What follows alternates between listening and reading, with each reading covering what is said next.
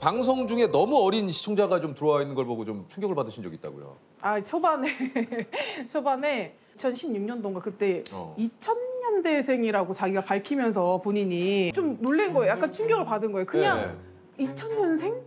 2000년생? 그래서 너무 어린 친구가 저를 본다는 게 좀 네. 뭔가 이상한 거예요. 그래서 근데 그 친구가 봤을 때는 좀 아줌마잖아요. 그- 있죠. 그래서 예. 저도 모르게 약간 네. 아줌마 잘 먹지? 그래 또 그래가지고 아줌마 잘 먹지. 아, 누, 이게 그 분이 보셨을 땐 아줌마일 수도 있으니까.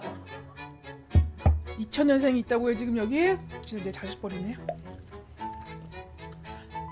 아줌마 잘 먹지?